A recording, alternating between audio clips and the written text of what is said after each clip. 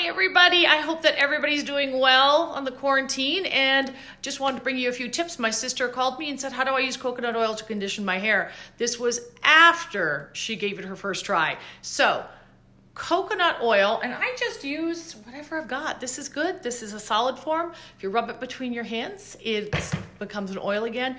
Put it through your hair. Put it through your hair pre shampoo when your hair is dry. Let it sit in there for a couple hours. It won't hurt.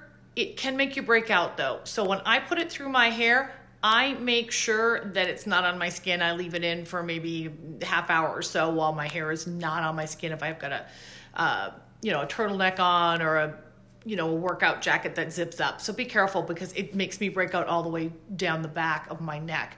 So what you want to do is grab some of this.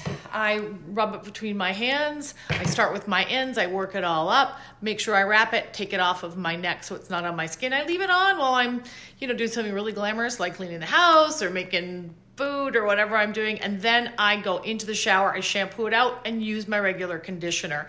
It really is great for the hair, um, but don't use it as a post shampoo conditioner because it really won't rinse out and it'll be a very greasy day. Um, my sister's going to give me a call. She uh, has been walking around with really greasy hair all day, and she's going to give me a call tomorrow, and we'll tell you how it went.